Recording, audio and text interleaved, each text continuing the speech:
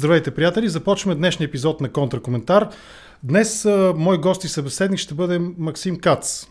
Най-общо казано, изключително популярен в рускоязичния интернет, анализатор на процесите, които текат в Руската федерация. Накратко, след руското нападение над Украина, опозиционният политик и публицист Максим Кац отива в изгнание. Той не живее в момента в Руската федерация. Оттам той се надява и полага усилия да събуди своите сънародници в родината си. От своето студио в Телавив руският опозиционер достига до милиони, буквално до милиони свои зрители и абонати на неговия канал ежедневно с а, своите анализи и коментари в платформата YouTube. В Русия той се присъединява в далечната вече 2012 година към опозиционната партия Яблака и по-късно работи в предизборната кампания на Алексей Навални. За един период от време те са колеги двамата. От днешна гледна точка опитът му може да изглежда безнадежден, но сигурно е невъзможно почти да се върне обратно в недемократичната и нереформирана Русия, докато тя все още не е свободна държава. По време на войната руската опозиция се оказва възможна, опозиционна дейност се оказва възможна само от чужбина. Тези, които остават в Русия, независимо дали те са политици, опозиционери, дисиденти, журналисти, голяма част от тях или пряко животът им е застрашен, или попадат в затвора. Знаем не един или два такива случаи. Самият Максим Кац е един от най-ярките и изключително добре аргументирани критици на режима на Путин, на режима в Кремъл. Голяма, голяма чест за мен със сигурност е това, че той е гост в моя канал и удоволствие да го приветствам в ефира на Контракоментар и разбира се с благодарност за това, че прие поканата ми и това ще бъде първата му среща в българския интернет, в българското пространство, с българските зрители. С него ще разговаряме на руски язик и разбира се ще обсъдим актуалните въпроси. Ето го и самия него. Здравствуйте, Максим. Спасибо, что приняли приглашение быть моим, моим, моим гостем в контркомментарии. Спасибо. Здравствуйте. Я как не старался, но ничего не понял из того, что вы сказали, потому что не владею языком. Да. Короче говоря, я вас представил как э, оппозиционного деятеля в России, который да. сейчас живет в изгнании. Я позволил себе употребить это да. слово. Вы сейчас, мы с, вами, мы, мы с вами сейчас разговариваем, вы находитесь в Тель-Авиве, э, в Израиле.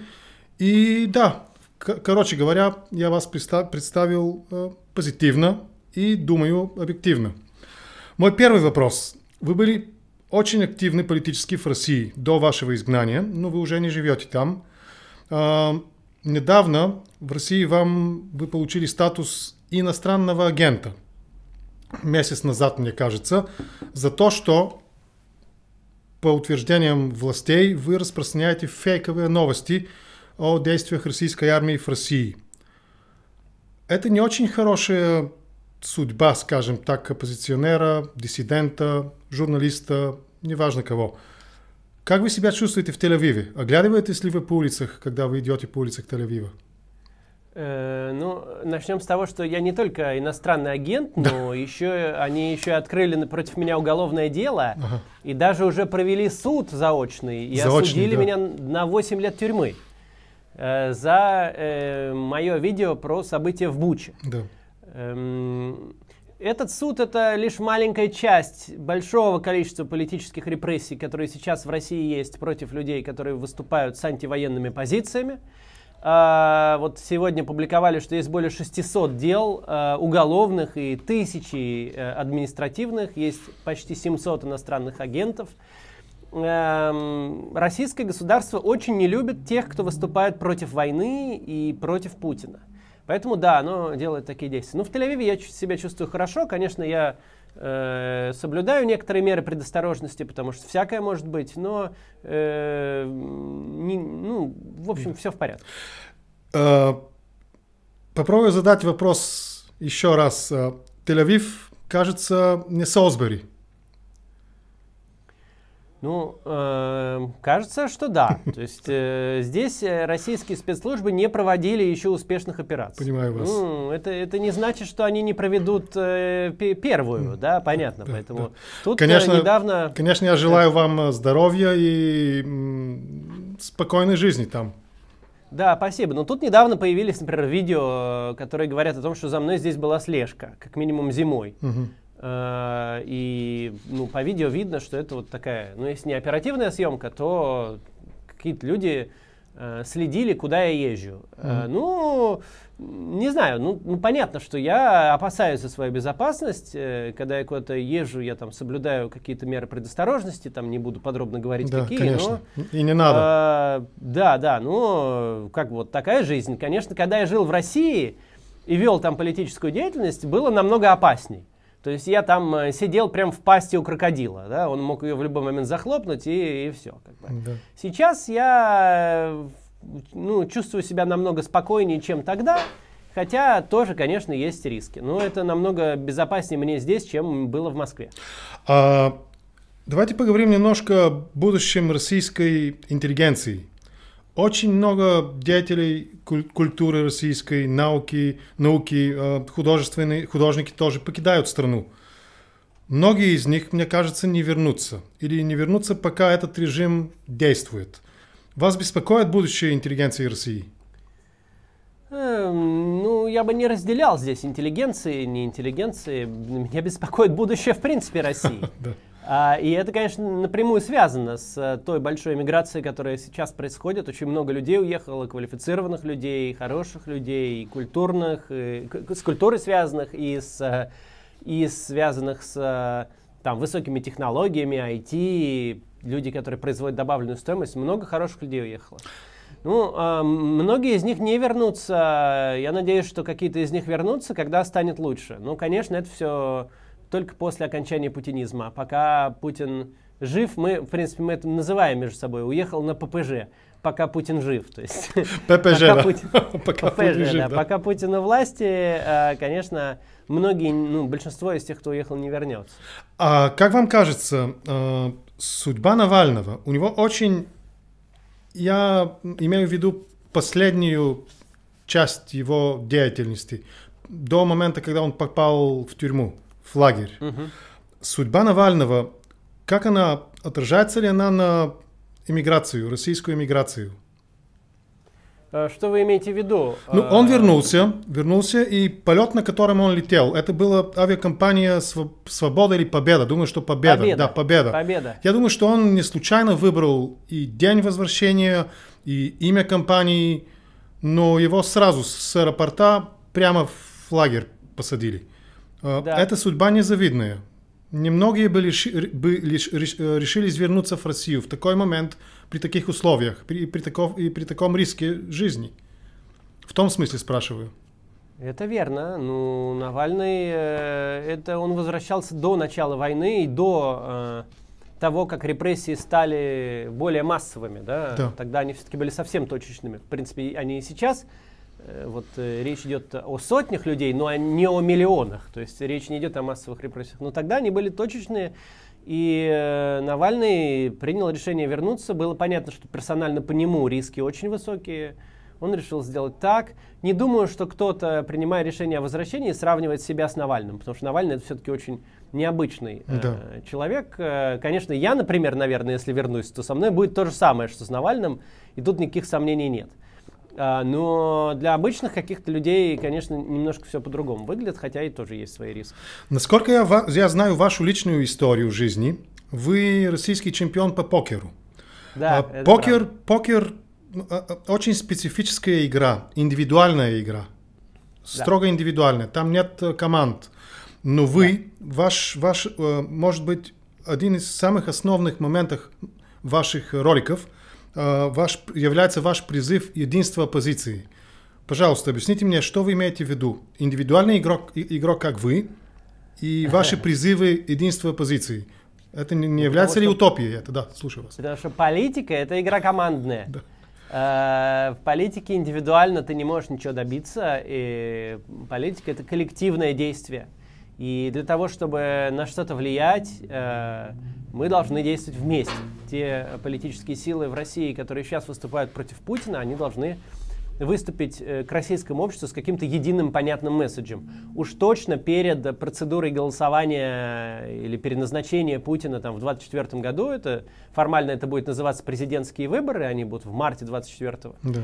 А, и перед ними мы, на мой взгляд, должны выступить с однозначным месседжем к россиянам, что мы, что мы все, россияне, должны выступить против э, Путина и не поддерживать его, не голосовать за него, не э, агитировать за него тем более, агитировать против и использовать этот момент, чтобы снять иллюзию общественной поддержки Владимира Путина в России. Вот с таким общим месседжем я призываю выступить российскую оппозицию.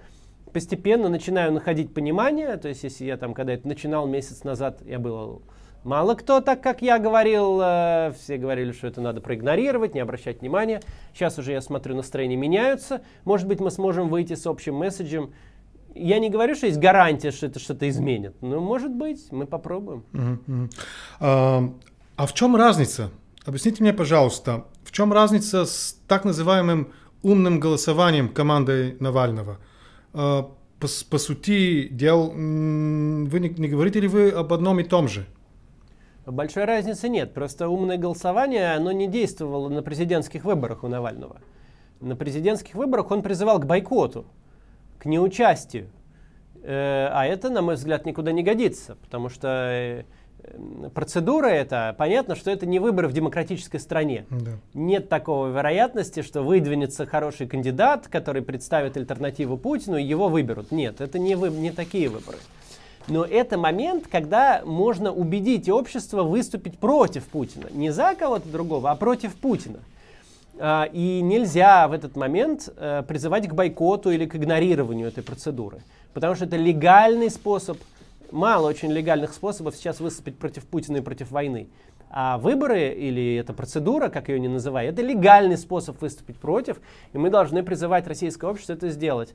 И я надеюсь, что команда Навального это тоже сделает. Неважно, умное голосование, не умное, там какое угодно, лишь бы только не бойкот и не игнорирование. То есть э, нужно призывать россиян участвовать в этой процедуре и выступать на ней против власти Владимира Путина.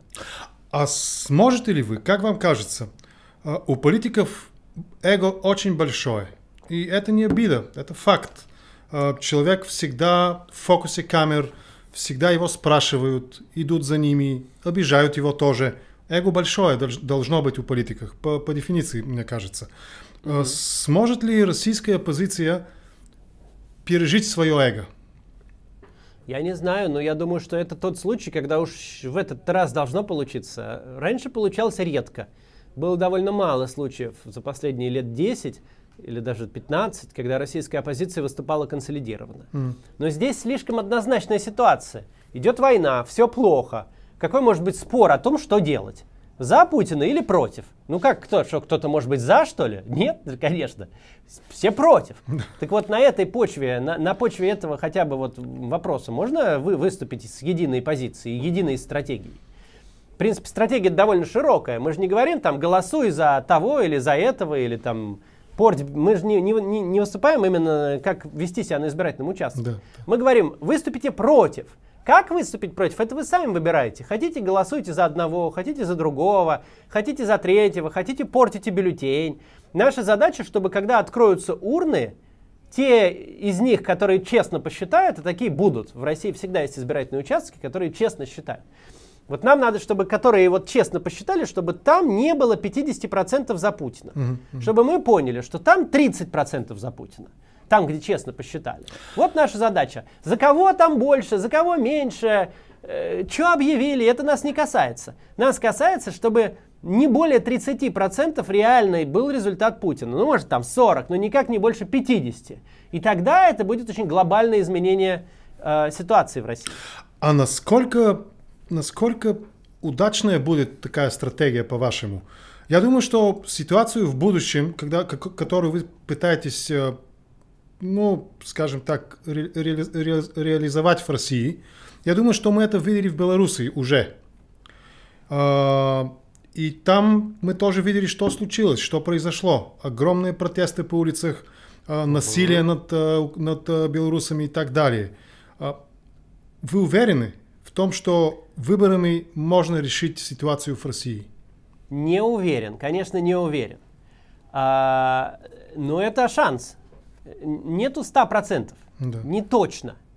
Э, белорусы очень многого добились на тех выборах, которые прошли у них в 2020 году. Э, в 2019 году и раньше Лукашенко считался однозначно легитимным президентом Беларуси, с которым имели дела все лидеры западных стран, который воспринимался даже миротворцем. Если вы помните, были да. Минские соглашения, да. куда приезжали представители Франции, Германии, по-моему, Соединенных Штатов, и все в Минске под председательством Лукашенко собирались обсуждать э, мир в Украине. То есть он был не просто э, там каким-то диктатором, с которым вынуждены иметь дела, он был признаваемым легитимным президентом. Да. Белорусское общество на выборах добилось того, что этот статус у него исчез. Он стал просто человеком, который силой держится за власть. Это то, что могло сделать общество, и оно это сделало. Оно сделало свой э, шаг. Дальше, да, у них хватило возможностей и сил э, подавить эти протесты, и э, получив от Путина политическую, экономическую и, и в некотором смысле силовую поддержку, он смог удержаться. Он переродился в э, силовую диктатуру. Но а, сможет ли такое, такое же перерождение осуществить Путин, мы не знаем. Это совершенно точно очень, очень его ослабит. Мы не знаем, сможет он удержаться, не сможет он удержаться, поможет ли ему Китай, никто ему не поможет, будут ли его слушаться силовики, мы этого всего не знаем. Но он совершенно точно будет в намного менее стабильной ситуации, чем сегодня. Сегодня он в стабильной ситуации, он правитель России, и более-менее все, даже, в принципе, даже Украина, признает, что он э, легитимный правитель России. И даже есть э, некоторые мнения, что э, российский народ его действительно поддерживает что это вот то, что война идет, это, что это желание российского народа, а не Путина. Даже такие мнения есть а, и на Западе, и даже в Украине. Если мы сможем переделать ситуацию в состояние, что все понимают, что российское общество Путина не поддерживает, это будет очень глобальное изменение. И к этому я э, всех и призываю. Да, мы, мы обсуждаем э, поддержку Путина в обществе, в российском обществе. Но что до вас доходит из России? Есть, есть, э, существуют ли признаки того, что Путин теряет, теряет поддержку в своем окружении? Мы видели недавно пример Пригожина, который пошел на Москву. Конечно, мы видели и все, что произошло после этого, но есть ли признаки того, что Путин теряет поддержку в своих кругах? Эм, произошедшее с Пригожиным – это демонстрация эм, потери лояльности среди во- воюющих, военных и вот представителей этих ЧВК. И, в принципе, это логично, потому что э, военные воюют непонятно зачем, непонятно за что. С цели этой войны непонятны никому вообще, их даже никто не пытается объяснить. Зачем они стоят там в этой линии обороны в Запорожской области? Кому это надо? Это совершенно неясно военным. Кроме того, у них там известные проблемы с, э, ну, с, с обмундированием, там, с водой, то есть э, с едой. Они, они в очень плохом состоянии, и главное, что непонятно зачем. И да, в случае с Пригожиным это привело к тому, что он взбунтовался. Эм, что касается элит, элиты э, находятся в более спокойном состоянии. Они от этого всего, ну, не то чтобы выигрывают, они и проигрывают, и выигрывают. То есть они проигрывают то, что у них э, теряется стабильное будущее в Европе, что их жизненный план большинства элит был наворовать в России и жить в Европе. Эту возможность, ну, они начинают терять, так скажем, не полностью, потому что у них у всех есть старые паспорта, виды на жительство, все эти там запреты на проезд на легковых автомобилях, они им совершенно не мешают. Они на легковых Да, мы, мы обсудим, позже мы обсудим тоже санкции, едут. да. Да, да, значит, а, а, но они, у них есть ощущение, что как бы их жизненный план может встать под угрозу. Они по-прежнему могут ездить в Европу, могут владеть там имуществом, кроме небольшого количества там, попавших под санкции. Но э, вот, там более широкие российские элиты, они как бы, у них есть другая проблема, они э, не понимают, где вообще и как будущее будет устроено вся система э, сейчас власти в России держится на Путине. Путину восьмой десяток лет, он уже человек не молодой. Да. И весь статус-кво держится лично на нем. И у элит скорее беспокойство об этом. То есть как вообще выйти из этой ситуации и куда двигаться. А, но это, конечно, еще далеко до ситуации, что они что-то там устроят. Угу. Это, конечно, это, кстати, тоже вот то, то, о чем мы говорили раньше. То есть, если у них тоже появится ощущение, что у Путина еще и общественной поддержки нет, что он не факт, что держит и контролирует ситуацию, тут они могут сделать свой ход. Но сейчас, конечно, до этого далеко. Угу. А, говоря об элитах, давайте поговорим немножко о финансовых элитов или так называемых э, олигархов. Почему мы сейчас, мне кажется, что мы не слышим очень много сейчас от олигархов. Э, такие личности, как Роман Абрамович, например. Мы не слышим их, э, их слова, их комментарии, их мнения, мы не слышим о войне, о том, что происходит в России. Э, неужели все они настолько зависимы от Путина? Ну, и ничего... олигархи, да, да, да, слушай. олигархи в целом, и Абрамович конкретно, которого вы назвали, они никогда не, не были очень а, политически активны в своих высказываниях и выступлениях. Они как раз скорее наоборот всегда молчали. А, так что тут я не вижу ничего удивительного. Ну, Значит, скажем так, да. Ходорковский, которого тоже называли в прошлом олигархом, он, у него очень хороший аналитический канал тоже в Ютубе. Да, у есть, него отличный Видимо, канал, есть разница. Большая... Да. Ну, конечно, есть. Ходорковского Путин посадил в тюрьму на 10 лет. Да. И убрал, и забрал у него все, да, и забрал все у него. Да, да. забрал, ну, не все, там как-то они там как что-то сохранили, но он из тюрьмы вышел, поехал в Лондон и теперь оттуда выступает. Да. Конечно, тогда. Но это нельзя сравнивать с действующими какими-то людьми, у которых есть активы в России, у которых есть персонал в России, семья, заложники, можно сказать. Они, конечно, молчат. А, была первоначально такая иллюзия, она на самом деле даже поддерживалась некоторыми частями российской оппозиции, это иллюзия в западном мире, что олигархи имеют в России политическое влияние. Что вот сейчас мы на них там как наложим санкции там, и как мы их там напугаем, так они Путина и свергнут. В действительности, конечно, это не так, и олигархи никакого политического влияния в России не имеют.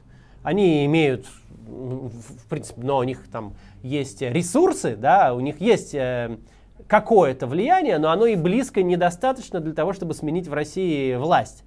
Поэтому э, вот, было такое ощущение в начале, что думали, что сейчас наложат санкции на олигархов, и они Путина выкинут там из, из кремлевского кабинета и посадят кого-нибудь другого. На самом деле нет. В России не, э, не олигархи играют первую скрипку. Э, и э, поэтому, в общем-то, эти санкции не привели к такому результату. Да, говоря о санкциях, э, скажем так, до сегодняшнего дня санкции были направлены на именно на тех, на олигархов и на всех тех высших кругах России, которые способствуют войну финансово, информационно ну, да. и так далее. Но сейчас кажется так, санкции были направлены на обычных российских граждан. Э, запрет въезда в Европейский Союз на российских машинах, на автомобилях да. российских, да. А, это выдвигает вперед вопрос о коллективной вины. Как вы к этому относитесь? Вы русский человек, вы русский. А, и да, есть, кажется, есть такое настроение, что все русские, русские одинаково виновны, потому что они терпят, терпят режим, согласны с войной, а, жертвы возвращаются, груз 200 возвращаются обратно домой, число мертвых, убитых растет, но все они молчат. Коллективная вина, по-вашему, как вы относитесь к этому? Э, я считаю, что коллективной вины не бывает. Да. Вина бывает только индивидуальная.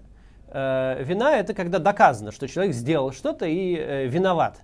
И когда ты начинаешь говорить о коллективной вине, то таким образом э, как-то испаряется вина индивидуальная. Угу. То есть вроде как уже виноват не тот, кто войну развязал, и не тот, кто военные преступления совершал, а вообще все.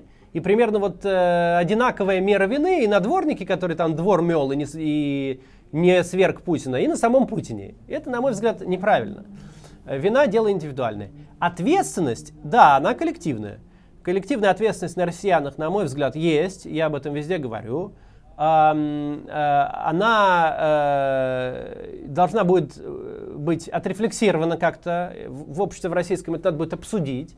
Нужно будет как-то добиться того, чтобы ну, значительная часть общества хотя бы признала, что это было неправильно – что Россия в этом виновата, что она не права, и дальше произвести те действия, которые можно будет на тот момент, э, может быть, компенсации, если это будет, э, будут принимать, может быть, э, какие-то памятники в России этим событиям, как вот мы сейчас видим в Германии памятники по поводу преступлений немцев во время Второй мировой войны, прямо в центре Берлина памятник Холокосту. То есть та, такого рода вещи должны будут находиться в центре Москвы для того, чтобы россияне помнили, что, что произошло. И э, устаканилось, что больше так не надо делать и нельзя. Э, Но это, э, с моей точки зрения, размышления какие-то наши общие, внутрироссийские. Угу. Значит, э, попытки как-то наказать россиян э, коллективно, они, на мой взгляд, тут надо думать, как бы, какой у них результат. Потому что у нас сейчас идет война, и каждый день гибнут люди, и, на мой взгляд, все люди, которые имеют какие-то инструменты влияния на ситуацию, должны эти инструменты использовать, чтобы война быстрее закончилась, и чтобы люди перестали гибнуть. Да. Ну и вот когда ты, например, э, не знаю, выгоняешь российских студентов из э, вуза, потому что у них Росси... Э, красный паспорт, это ты как влияешь на ситуацию? Ты, ты даешь инструменты российской пропаганде, и ты выгнал 50 студентов. Ты, ты помог Путину, в общем-то. И так э, действует, к сожалению, много мер, которые предпринимаются западными странами. Они такие э, разнонаправленные. То есть, с одной стороны, э, предпринимаются меры, например, по прекращению закупки газа, с другой стороны, увеличиваются закупки удобрений да, да. и нефти. И вот деньги едут в Россию. Э, с одной стороны, ты вроде как запрещаешь часть э, э, экспорта из России, вплоть до того, что запрещаешь экспортировать личные автомобили, на котором кто-то едет. С другой стороны, ты продолжаешь закупать нефть, э, нефть и другие природные ресурсы, э, и деньги продолжают ехать в Россию. Да, мне, извините, мне кажется, что лицемерие, я так назову это, наше европейское э, лицемерие, это факт. Я тоже с этим абсолютно не согласен. Но с другой стороны, вот этот э, момент, который вы сейчас э, объяснили, о ответственности как общество. Мне об этом хотелось немножко бы рассуждать с вами. А у команды Навального, я помню, в начале было очень, был очень большой список э, людей, которые должны попасть да. в санкционный список. Да, Мне кажется, да. тут вы тоже расходитесь немножко в своих позициях. Э, в том, что, как вы думаете о, о, о том, как должен Запад среагировать на войну России в Украине? А, да, мы, да, слушай, мы расходимся. Расходитесь, да, слушаю вас. Э, дело в том, что, на мой взгляд, персональные санкции это не главная вещь, которая э, повлияет на ситуацию. Они важны, если, если накладываются санкции на представителей элит, ну это хорошо, да, потому что они Э, на, на тех из них, конечно, теряют кто, комфорт, теряют комфорт жизни. Непосредственно в войне, так. да, э, да. Но э, вот как мы сейчас видим, да, я общаюсь иногда с, э, с некоторыми даже представителями элит, когда они в Израиль прилетают, иногда они со мной встречаются. Да, да. По большому счету все переориентировались на Дубай. Это была Европа, а сейчас поехали все в Дубай. То есть, ну, это какое-то мелкое неудобство. То есть, ну, хорошо, но лучше было ездить в Лондон, но теперь поехали в Дубай.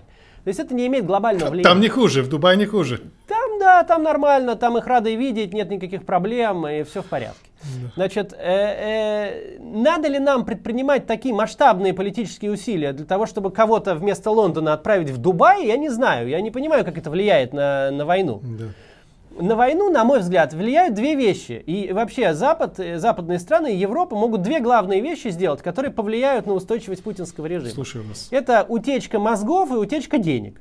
Это две вещи, которые очень беспокоят путинскую систему. Лишить их денег и лишить их мозгов. Мозги хотят утекать на Запад.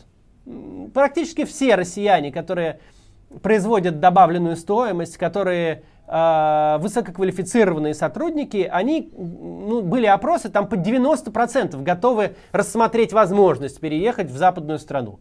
Если бы западные страны устроили э, политику такую, что Россию надо оставить без квалифицированных кадров, без мозгов, без людей, создающих добавленную стоимость, то очень многие бы просто взяли и уехали. И у Путина не осталось бы айтишников, у него уехали бы многие успешные бизнесы прям в полном составе. Это, кстати, происходило в начале, когда еще не ввели все ограничения. Там, э, организации, которые очень много налогов платили в России, целый прям снимали частный самолет и улетали на нем на Кипр, прям всей компании.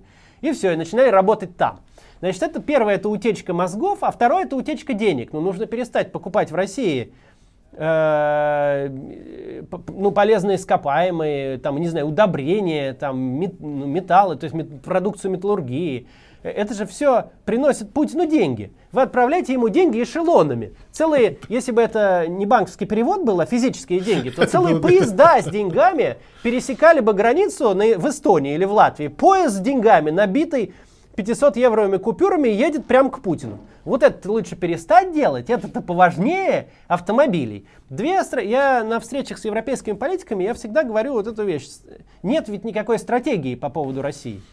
Почему все эти разнонаправленные меры? Потому что европейские политики, на них иногда там давит общество, и они перед выборами там, ух, мы сейчас будем tough on Russians. Да, там сейчас мы tough on Russians, мы там Russians сейчас туда, сюда, там, вот как в Латвии был, там выгоним пенсионеров, там в Россию обратно, там вот это вот все. А, это почему? Потому что стратегии-то никакой нет. Я везде говорю, что стратегия, которая реально бы навредила Путину, это brain drain и money drain. Да. Все утечка мозгов, утечка денег. Э, но ни то, ни другое, по большому счету, не происходит. И в какие-то моменты, например, утечка денег. Э, э, в начале войны рубль чуть не рухнул. Рубль, доллар стоил 150 рублей, банковская система в России чуть-чуть не рухнула. Ее удержали колоссальными усилиями. В самый тонкий момент, когда уже казалось, вот она сейчас упадет, и все, вся бы война закончилась, все бы закончилось. Если бы в России упала банковская система, на это все, конец был бы. Да. В этот момент Европа вводит санкции, что нельзя вообще никакие деньги из России присылать останавливается отток да, капитала. Да, да. И, и замораживает деньги внутри России, понимаю да, вас. Да, деньги остаются внутри России. Остана... Все же бежали, хотели вывести деньги в Европу, чтобы в России деньги не лежали, потому что все понимали, что, скорее всего, банковская система рухнет. Да. Европа ставит заслон, деньги остаются в России, ну и дальше, конечно, появляется множество инструментов, как эти деньги можно использовать для стабилизации банковской системы. Их использовали, система банковская стабилизировалась, и все, и все в порядке теперь у Путина. Это же, это я просто не понимаю, это настолько глупо. То есть деньги хотели уехать, а вы их оставили. Зачем? Есть какое-то объяснение? себя дома, да. Да, это же ни у кого, ни, ни у кого же даже, ну, может, я не знаю, отвечающие люди за санкционную политику, можно спросить, как, какой смысл запрещать деньгам уезжать из России в Европу? Угу. В этом какой, какой в этом плюс? Вот опять же, эшелон денег. Вот, вот это просто лучше представлять, когда ты это представляешь себе физически, Нет, в, случ... а в случаях, которые вы описываете, они остановили эшелон с деньгами э, от выезда из России. Выезд, да. да. Вот выезжа... ехал эшелон, они на границе остановили, говорят, не пропустим, обратно, обратно да. езжайте. Езжайте обратно, увозите, не надо нам. Понимаю, И параллельно еще 10 проезжают за нефть. А в это время все обсуждают, Запретить ли нам туристические визы для россиян? Надо ли нам, чтобы э, жители Санкт-Петербурга не могли отдыхать в Финляндии? Морально ли это и правильно? Когда у тебя эшелон денег туда поехал, сюда уехал. Это же просто, это, не, это, же, это же даже не лицемерие, это просто глупо.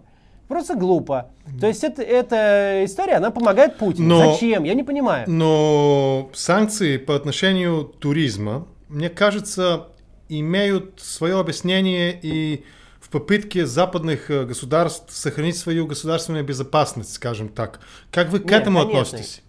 Это я, я же не говорю, что санкции против туризма неправильно. Мне просто э, приоритеты здесь кажутся странными. Да, да, да. Э, ну, насчет безопасности, большинство операций, которые проводили российские спецслужбы в Европе, они, агенты въезжали по, не, не по российским паспортам. Да. Там были бразильский, по-моему, был паспорт, были паспорта, по-моему, Молдовы, э, ну, были российские, но, по-моему, это были разные mm-hmm. случаи. И спецслужбы-то разберутся. Mm-hmm. Ну неужели кто-то думает, что вы закроете въезд по туристическим визам, и спецслужбы не смогут ввести агентов? И шпионы, да, они останутся за границей. Это же не так работает. Э, это, это, это talking point, который ты можешь использовать, если тебе надо набрать на выборах чуть больше мандатов, если ты хочешь показать, что ты tough on Russia. Но проблема-то в чем? Что у нас из этого все война дольше идти будет. Да. Вот это я не понимаю. Люди-то гибнут, настоящие люди, живые. Украинцы и, и россияне, и, и, и, и война идет непонятно. Война закончится ведь только тогда, когда рухнет путинский режим. Есть один путь завершения войны. Если закончится путинизм. Пока Путин у власти, война не закончится. Угу. Что бы там не освободила Украина, чем бы о чем не договорились, Путин это война. Значит, надо, наверное, стараться путинский режим как-то, чтобы прекратил свое существование. Но вот, может быть, об этом подумаем, да? Может быть, стоит, вот когда, не знаю, санкционная политика или просто внешняя политика по отношению к России планируется. Может быть, стоит подумать о том, как э, уме, уменьшить продолжительность жизни путинского режима, mm-hmm. а не о том, э, как не пустить российских агентов по туристической визе куда-то. Ну что это такое? Да, говоря о э, продолжительности жизни э, путинского режима цена да. рубля. Э, кажется, мне кажется, рубль сейчас очень, э, цена его очень упала по сравнению к доллару. Э, но тут есть, у этого вопроса есть две стороны. Первая сторона, как это отражается на обычного российского гражданина.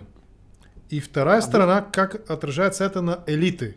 Экономические элиты, политические элиты, финансовая система. Обычный российский гражданин становится от этого беднее. Э, кроме того, для России курс рубля это важный политический вопрос. Да. Люди как-то привыкли смотреть, какой курс, да. и если курс быстро падает, то все плохо. Да.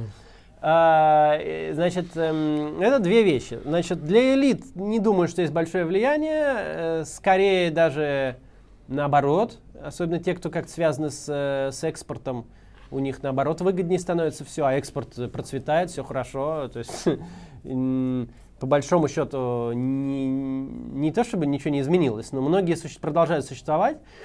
А, и, а для государства российского это немножко упрощает бюджетное планирование, потому что, опять же, доходы-то в основном экспортные от нефти, то есть рублей как бы становится больше. Беднеют здесь граждане. Эм, это вещь, которая, вот пока это медленно идет, оно не приведет к коллапсу. Э, коллапс это могло привести в начале войны, когда оно вот резко упало. Uh-huh, это да, потому uh-huh. что люди могут побежать брать деньги из банков, потерять доверие к банковской системе, и тогда все, тогда коллапс. А, но а, этого сейчас не происходит. А, это процесс неприятный для Путина. Они его стараются как-то ну, остановить. Ставку сейчас до 14% подняли. Это же полная остановка экономики. То есть это совсем очень много. Э, но э, это растянутый во времени процесс. Uh-huh. А нам сейчас нужны какие-то быстрые процессы, а не растянутые во времени. Потому что, ну что, ну да, на, на, на перспективе пяти лет, наверное, это плохо повлияет. Но в перспективе пяти лет это вообще черти знает, что будет. Тут мы сейчас не такими масштабами мыслим. Да. Я спрашиваю вас, потому что я помню, это было давно, э, в одном из своих интервью э, Путин, он э, рассуждал говоря, и сказал что-то, которое прозвучало немножко глупо. Он сказал, что для российской экономики даже лучше, если э, рубль э, становится дешевле. Потому что, скажем так, если вот эта ручка стоит 40 рублей, но сейчас она стоит 60, это означает, что в российскую экономику входит 20 рублей больше. Думаю, что ну. правильно запомнил его слова. Такова ли логика, цены рубля сейчас? А, ну, Путин, у него очень специфический взгляд на российскую экономику. Он, э, конечно, если смотреть с точки зрения Путина, когда ты продаешь нефть, получаешь эшелоны денег в валюте. Да, да, да. да. И, и, и, то тогда, конечно, лучше, чтобы Потому что рубль, дороже, больше рублей, да. У тебя больше рублей, да. То есть с такой точки зрения, да.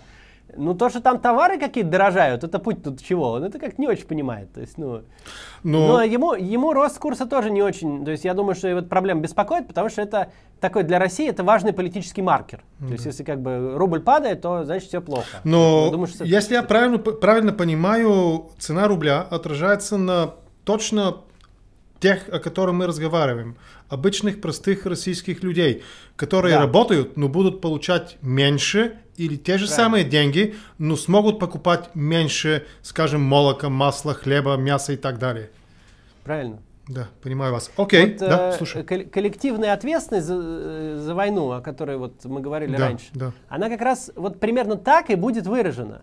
Она будет э, происходить не потому, что кто-то э, ее наложил, она будет происходить потому, что Путин настолько Россию в тупик загнал, что россияне за это долго будут платить, и не из-за того, что, опять же, кто-то наложил эти выплаты, а просто потому, что ситуация будет становиться хуже и хуже, э, независимо от того, что там кто накладывает. То есть э, э, россияне теряют, и сейчас становятся беднее, и дальше будут становиться беднее. И происходит это из-за войны. Эм, причем, чем дольше будет идти война, тем хуже будет это для, для россиян. Угу. Да, вот. мы обсуждаем санкции скажем так, если сейчас, сейчас вы разговариваете, разговариваете не со мной, а с трибуны Европейского парламента, а, чтобы закончить разговор о санкциях, какие санкции бы вы предложили европейским политикам сейчас? Я бы предложил принять стратегию для начала, какую-то единую. Которая бы, на мой взгляд, должна включать в себя две главных вещи. Это утечка мозгов да. и утечка денег. Да. Дальше я бы предложил перестать отправлять в Россию деньги, кроме совершенно необходимых каких-то ситуаций. Поездами, когда, поездами. Когда без этого нельзя. Да, вот, пожалуйста, хватит отправлять Путину деньги поездами. Это вот с одной стороны. С другой стороны, если в вашу сторону едет поезд с деньгами, то хорошо бы его принять, потому что он тогда в России его не будет. А также, если в вашу сторону едет поезд с очень высококвалифицированными людьми, которые хотят у вас жить, а у Путина жить не хотят. Не забирайте у них автомашины, да? Да, не надо у них забирать, не, не, не надо у них забирать автомашины, не надо им ставить шлагбаум и говорить, не пустим, оставайтесь, гады, у Путина, на него работаете. Да. Значит, чтобы вот ваши IT там эти умения или управленческие умения, чтобы все остались у Путина. Ну, не надо. Не надо ставить заслон на утечки из России ресурсов. Понимаю вас. И с другой стороны, не надо отправлять в Россию ресурсы. Ну вот насколько это глупо выглядит, если это представить себе живьем.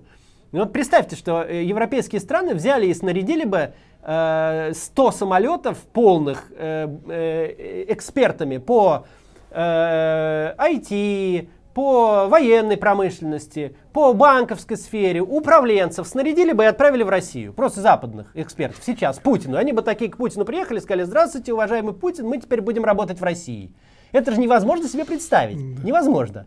Так почему же, когда в обратную сторону это происходит, когда хочет прилететь 10 или 100 самолетов с такими же экспертами, которые не хотят больше работать на Путина, а хотят работать в Европе, почему же надо ставить заслон? Да. Вот это я не понимаю. понимаю не, потому, что да. я, не потому что я хочу... Э, э, меня это больше всего беспокоит, потому что это усиливает Путина. Наша, это же общая вообще задача. Мы же, у нас же у всех проблема с, с Путиным, и у российской оппозиции, и у российского общества, и у европейского политического истеблишмента и у европейского народа, как бы народа стран европейских. Проблема-то с Путиным, чтобы войны этой не было и чтобы Россия никому не угрожала. Если Россия будет скучным соседом, с демократией, с э, честными судами, выборами, политической конкуренцией, обычной страной, то она же не будет никому мешать. Так зачем же Путину помогать? Вот это вот мне непонятно. Вот так бы я выступил с трибуны Европейского парламента. Выработайте уже стратегию, которая действенная будет, которая будет не вам помогать на выборах избраться, потому что вы tough on Russia. Да, и способствуете, а пом... способствуете утечку а мозгов и денег. поможет да. стратегию, которая поможет войну эту закончить. В этом же фишка. Давайте сядем и вместе подумаем, как это сделать. Да. А, говоря о утечке мозгов и денег, может быть, самый успешный очень успешно работает сейчас третья утечка. Утечка политиков. Утечка оппозиционеров. В Болгарии существует такая организация за свободную Россию. Да, а, в ее состав входят много российских оппозиционеров, некоторые из них живут в Болгарии постоянно и так далее. А, как вы видите место таких антипутинских движений, организаций? И может ли такая организация быть двигателем оппозиции, успешным двигателем оппозиции? Во-первых, так как мы на болгарском канале, да. я хочу поблагодарить Болгарию за то, что она принимает российских э, диссидентов, оппозиционеров, журналистов. И людей, Не очень успешно, но принимает. Э, ну, на, э, я знаю несколько проблемных случаев, но в целом, э, по большому счету, те, кто искал защиты да, в Болгарии, да, нашли ее. Да, да никого не выдали, не то, что не выдали, даже никого там не создают больших проблем. То есть, э, наверное, можно было делать что-то лучше, наверняка, но в любом случае это очень важно. А, во-вторых, э, значимость э, российских политических структур, сохраняющих себя и сохраняющих деятельность за границей, на мой взгляд, высокая.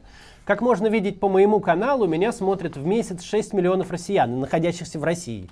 У меня всего 12 миллионов зрителей, из них примерно 6 находятся прямо сейчас в России. Да.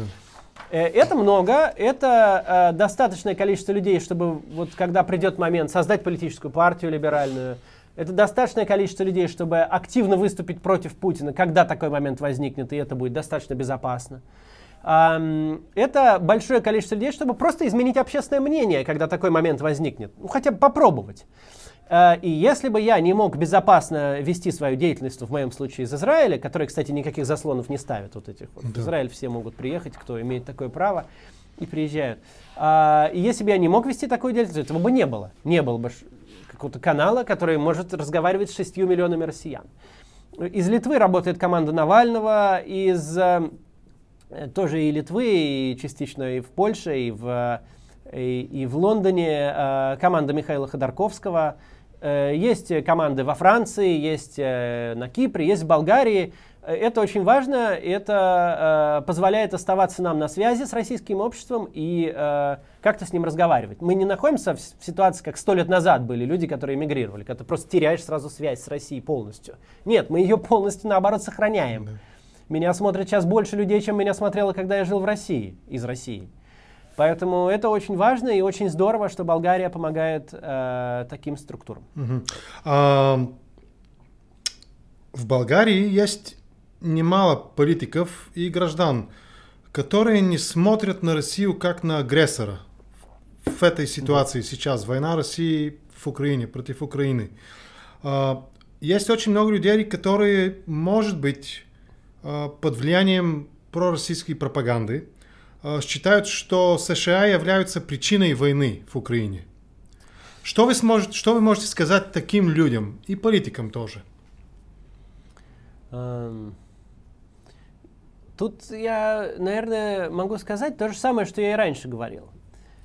Если вам, как политику, кажется, что вот появилась какая-то идея, на которой вы можете выиграть выборы или получить чуть-чуть больше процентов, и вы ее берете и высказываете, может, вы эти проценты и получите.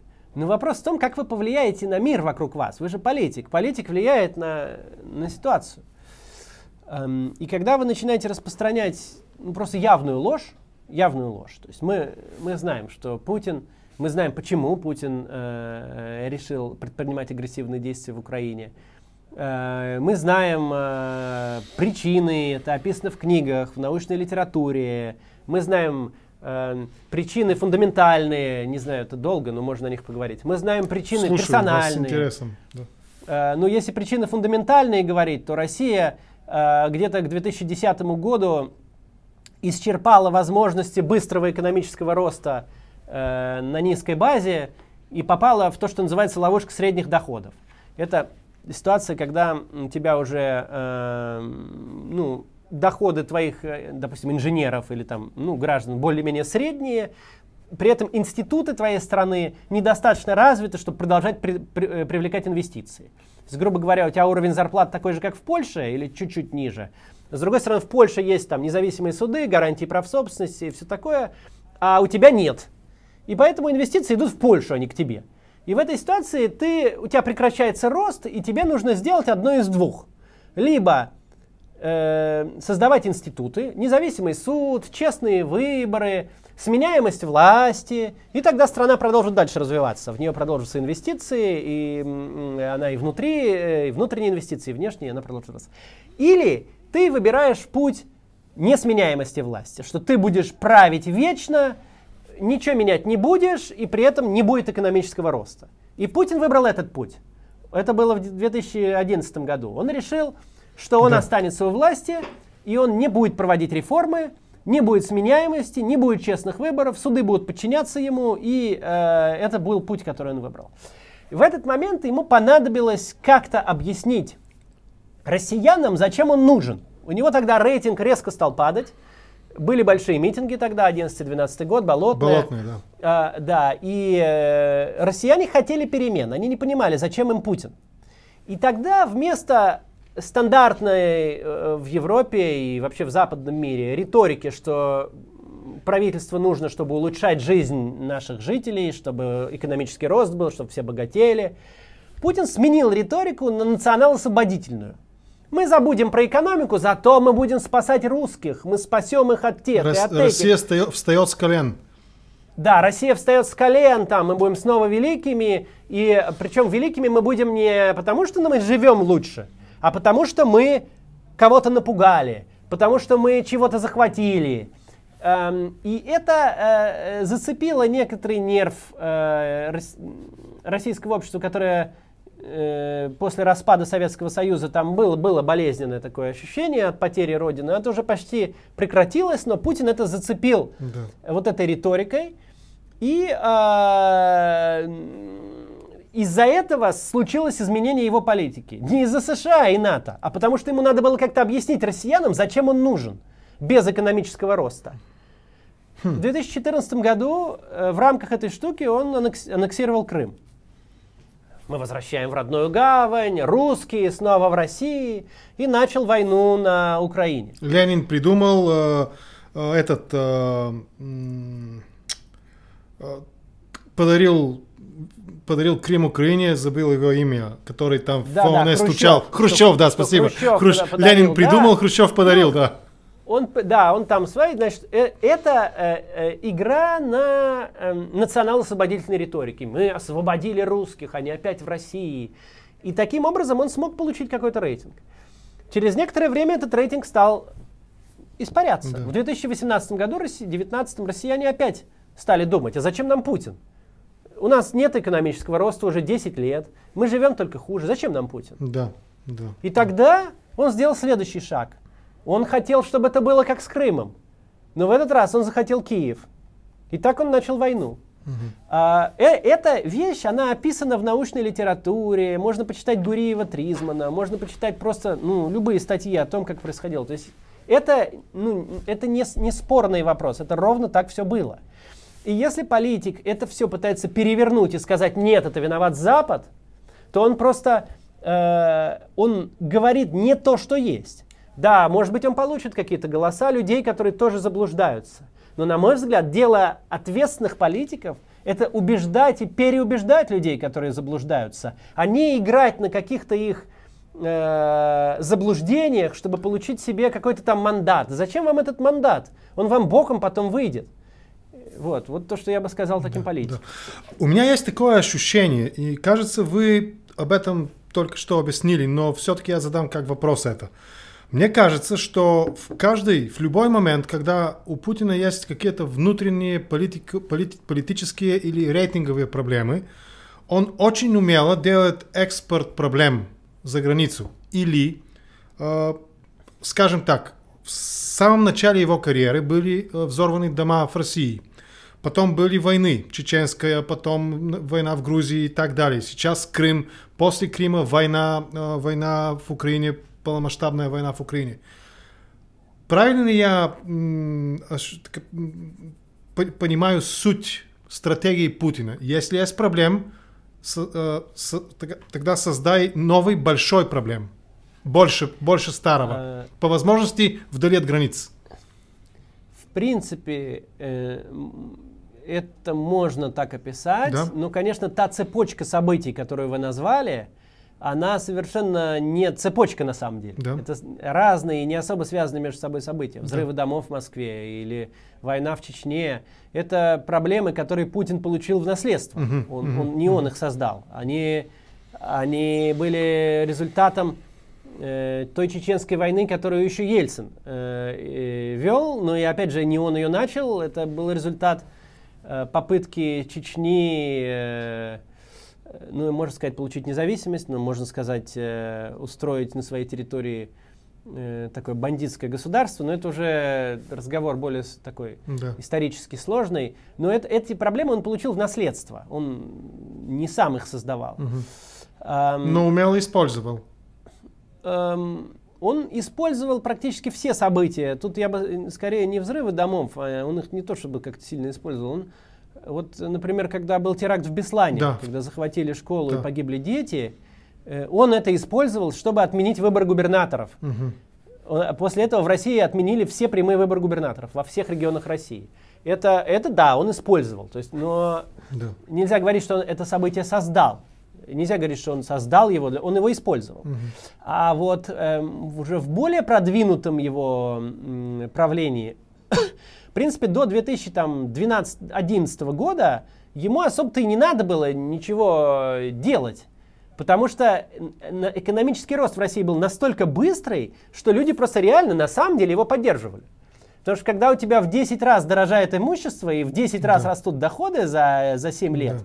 то ты кого угодно будешь поддерживать. И, в и, кстати, он тогда, э, ну, по, по большому счету, тогда правительство не то чтобы сильно и вредило. Были, конечно, э, было дело Юкоса, посадили Ходорковского, но глобально оно не лезло в жизнь людей, оно не принимало какие-то запретительные законы, э, оппозиционеров никто, по большому счету, не трогал. А, опять же, были свои отдельные кейсы, но могли существовать какие-то оппозиционные партии, которые, правда, э, ничего не набирали, тогда была действительно поддержка, потому что был быстрый экономический рост. Все это дело, о котором вы сказали, Путину понадобилось после 2012 когда экономический рост уже исчерпался, и ему нужно было что-то другое предложить россиянам. Вот тогда он предложил э, то, что он предложил, то, что он делает сейчас. Угу. А можем ли говорить о провале российской оппозиции? А, даже, даже с момента прихода Путина к власти. Потому что я, например, разговаривал в своем канале с Владимиром Миловым. И он мне рассказал, что тогда, в то время, когда он был заместителем одного из министров, а, в коридорах власти в России обсуждалось не только членство России, а, вход, вхождение России в Европейский Союз, но и в НАТО тоже. Да. И тот же самый Путин перешел, ранний Путин стал тот Путин, которого мы знаем сегодня. Да, э, это, конечно, не связано с оппозицией. Угу. Оппозиция тут ни при чем.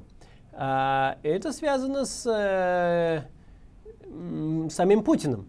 Путин, начиная свое президентство, он, э, в принципе, приходил к власти как продолжатель дела Ельцина. Он же был ельцинским преемником, Ельцин его представлял.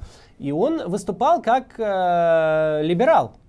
И действительно, те речи, которые он говорил, они были совершенно либеральные, прозападные. Да. Он был первый, кто выразил соболезнования Джорджу Бушу после терактов 11 сентября. Россия была первой страной, которая это сделала. А, действительно ходили разговоры о вхождении в Евросоюз и в НАТО. Э, это все а, было продолжением того курса, по которому шла Россия при Ельцине. При Ельцине она шла так. А, для Путина же этот курс был не очень естественный, потому что он выходец из КГБ, Э, но самое главное, этот курс, он подразумевает сменяемость власти. Ты не можешь быть пожизненным диктатором и при этом идти в Евросоюз и в НАТО. Там таких не берут. Там как бы требование, что у тебя должна быть демократическая система. Угу. И до 2008 и даже, можно сказать, до 2012 по большому счету, это устраивало э, российский истеблишмент. Ведь приход Медведева в 2008 это была попытка системы э, устроить себя так, чтобы она не зависела от одного человека. Это была попытка сменяемости власти внутри той российской системы, которая, которая была.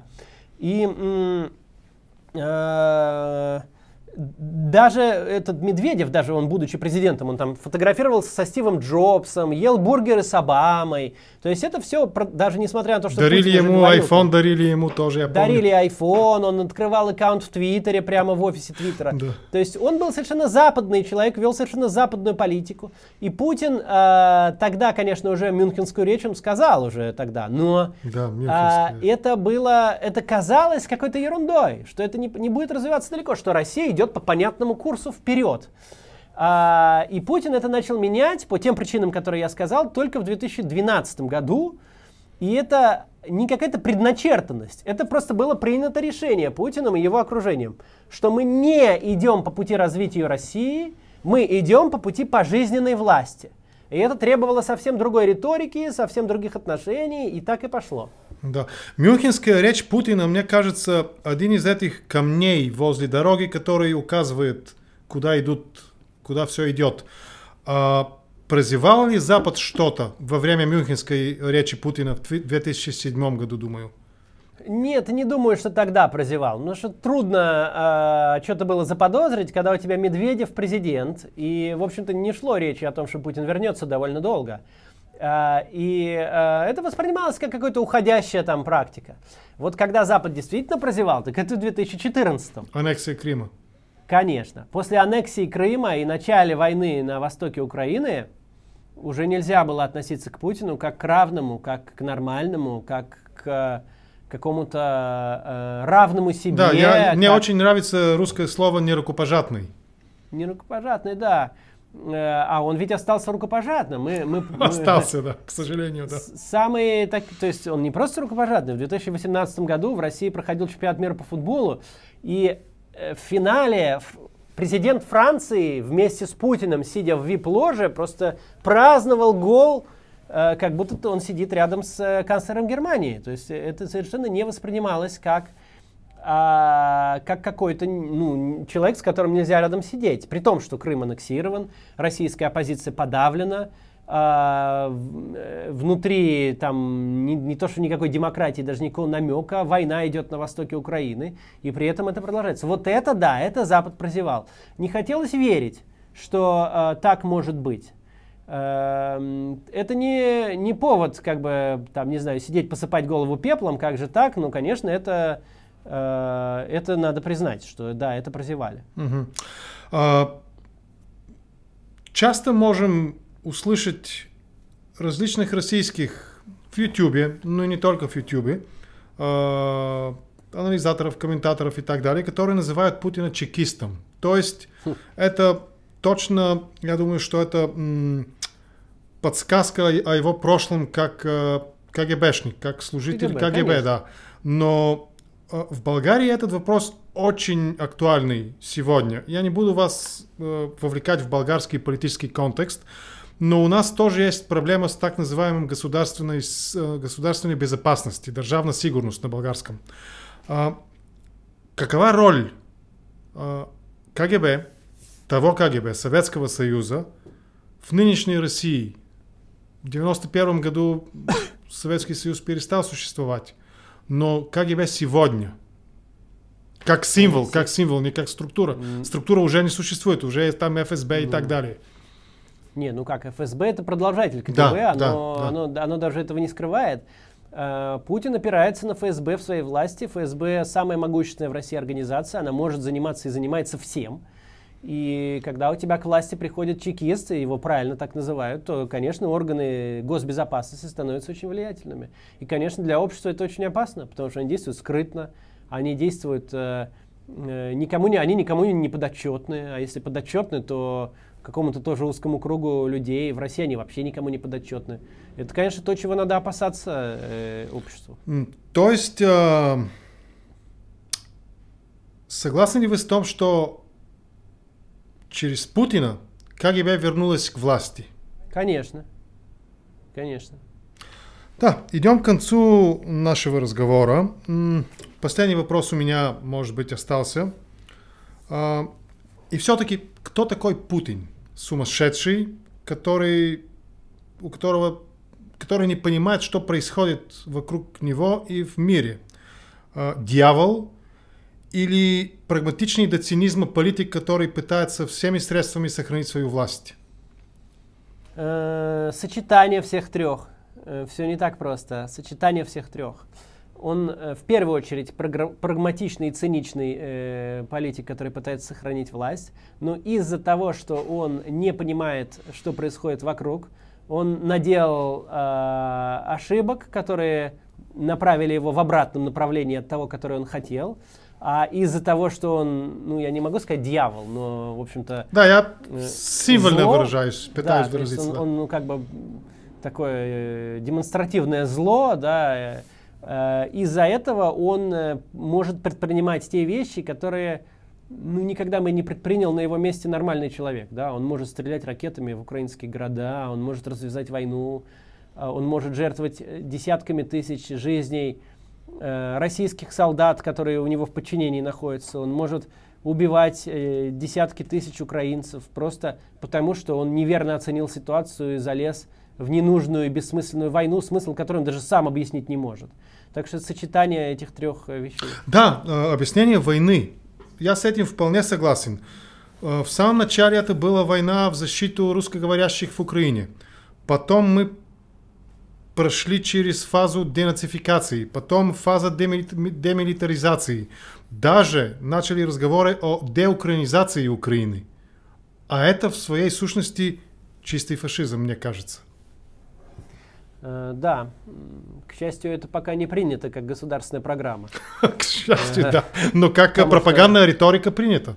Ну, риторика есть, но все-таки в России до сих пор, э, по-моему, больше полутора миллионов украинцев находится, и слава богу, с ними все в порядке. Все нормально. Пускают, и да, то есть пока это, это очень важный вопрос на самом деле. Если это дело будет принято как государственная программа, то да. в России много украинцев по паспорту, в России много украинцев по национальности, и слава богу, это все-таки пока не там. Э, ну, про, то, что у этой войны нет цели, это действительно так. Путин это не может объяснить, и пропаганда это не может объяснить. Никому это непонятно. Никто не может э, объяснить э, солдатам, за что они воюют. Да. Это же, это же гла... вообще-то, это, на мой взгляд, главный как бы такой тонкий момент для Путина на ближайшее как бы время. Вот сидят люди, которых мобилизовали в армию или которые были солдатами по контракту в окопах в Запорожской области Украины. На них наступают западными вооружениями украинцы, которые на своей земле воюют, и все понятно. А они там сидят, отстреливаются без, э, там, без ресурсов там, и без воды иногда. И у них вопрос, а что мы тут делаем? Зачем мы здесь? им никто не может дать ответ. Да. Я не знаю вообще, была ли такая война вообще в, в истории? Всегда же какая-то была, какой-то ответ был. был. Да, был казус Белли, да. был какой-то казус Белли, да. Даже у, да не обязательно казус Белли, даже у самых, э, самых человеконенавистнических режимах, да, там даже, да, даже у, у Гитлера. Да. У него была какая-то цель, было какое-то объяснение, зачем мы воюем, да, у него да. оно было совершенно сумасшедшим, не, не, неприемлемым, но оно было. Его, его как-то говорили, солдат, ты идешь воевать для расширения жизненного пространства арийцев и э, ликвидации там неправильных народов. Вот за это ты идешь воевать. И солдат, как бы, которому пропаганда промыла мозги, и шел за это воевать. А тут-то не, э, им, им вообще ничего не говорят. Как, как может человек там, жить таким образом в окопе там, и, и подвергать свою жизнь опасности ни за что? Это не оборонительная война. Ты не воюешь за родину. Ты не воюешь за... Ты, ты просто так там сидишь. И мало того, любые твои вопросы на эту тему, как, как, как, каким бы ресурсом ты не имел доступ, дадут тот же самый ответ. Нету ответа. Никто не знает, зачем ты там сидишь в этом окопе. Нету ответа, Это да. не очень, не очень устойчивая ситуация. Нету ответа.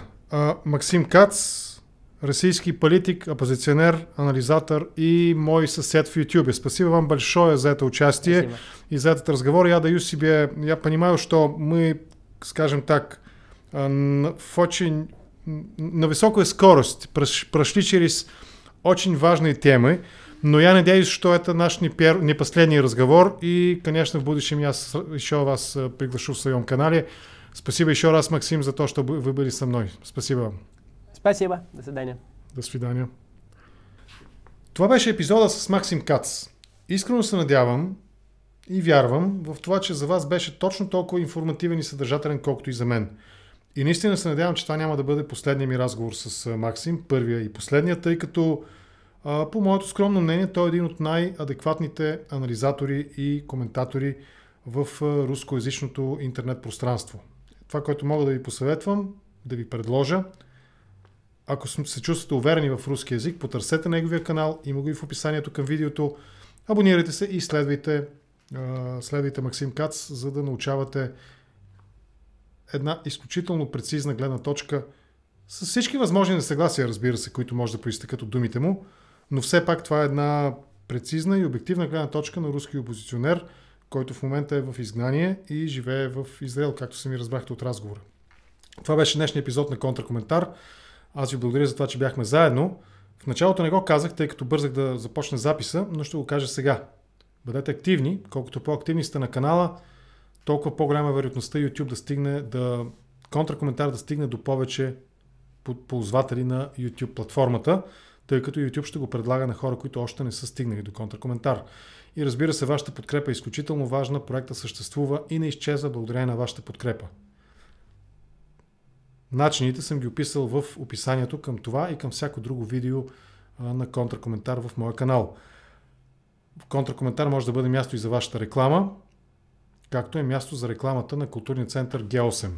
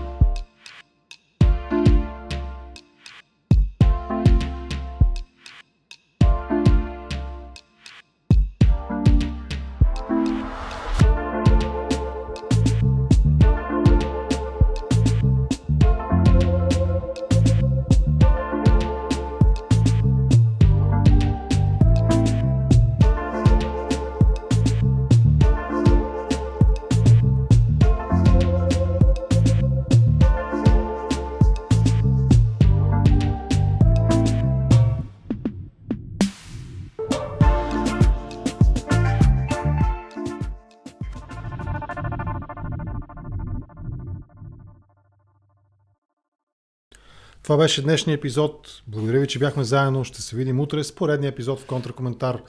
Всичко най-добро ви желая. Лека вечер и късмет.